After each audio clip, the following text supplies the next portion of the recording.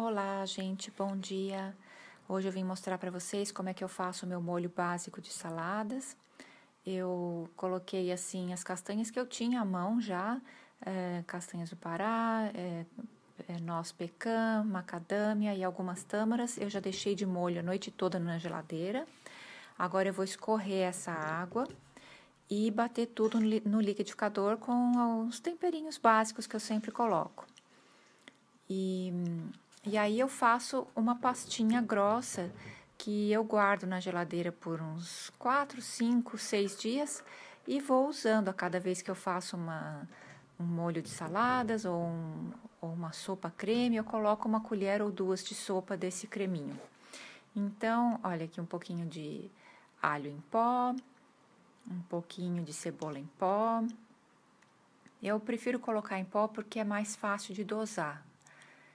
É, vou colocar um pouco de sal. E, e um pouco de levedura, de, de, levedura nutricional também vou colocar, porque eu tenho aqui.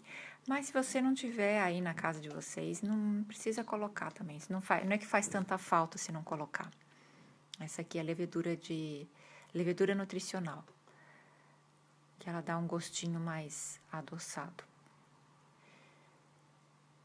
E é isso, na verdade, um pouco de água, água fresca, e eu vou bater. Eu prefiro colocar menos água e conforme vai batendo, eu vou acrescentando água se eu achar necessário. Senão, quanto menos água você colocar, mais tempo ela dura na, na geladeira, tá certo? Então vamos lá.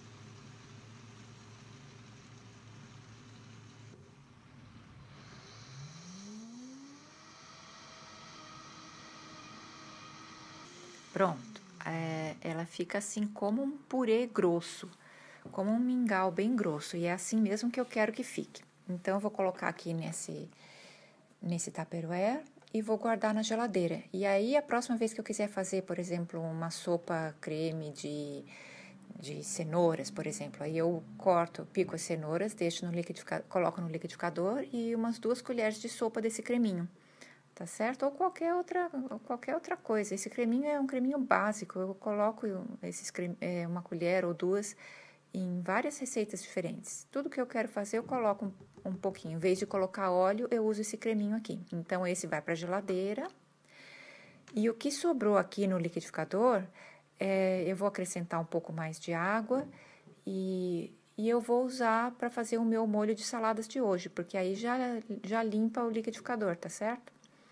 Eu nunca, eu quase nunca uso vinagre, eu geralmente uso limão. Nossa, tá até difícil de abrir aqui esse vinagre, porque eu nunca uso mesmo, a garrafa tá aqui, é vinagre de Modena branco, mas eu vou colocar bem pouquinho hoje, só porque eu tenho essa garrafa aí.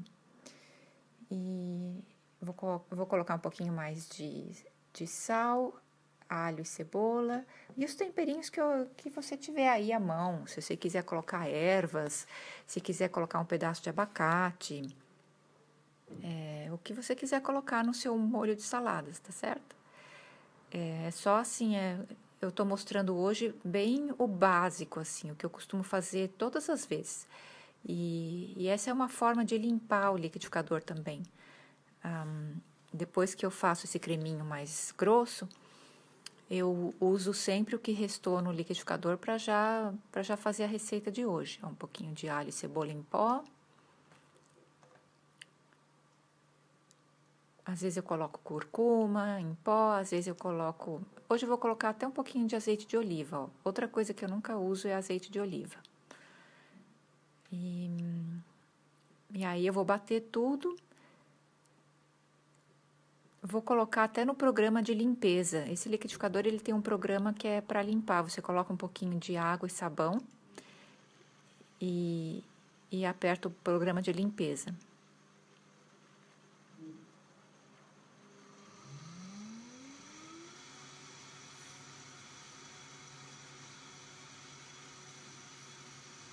Pronto. E aí você vai ver que fica bem mais fácil de limpar o liquidificador dessa forma. Porque não tem mais aquele creme grosso que é difícil de ficar raspando né, as paredes do liquidificador. E assim você economiza tempo de, lim de limpar o liquidificador, economiza de ter que de ter que ficar jogando o produto fora. Eu sou super econômica, gente. Ó, tá vendo? Não só sou econômica, como sou prática. Aí eu vou pegar a minha salada de folhas verdes escuras que eu já cortei, já eu pico grosseiramente para ser mais fácil de comer, de mastigar.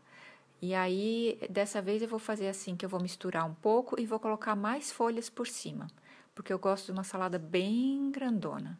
E mas eu não gosto de misturar ela inteira no molho. Eu misturo assim uma parte no molho e aí eu vou colocar mais um pouco de salada por cima e já, já é a minha refeição de hoje à noite. Então, se você gostou desse vídeo, dê um like para mim, continue assistindo aqui no meu canal e bom apetite. Tchau, tchau. Até a próxima. Um beijo grandão.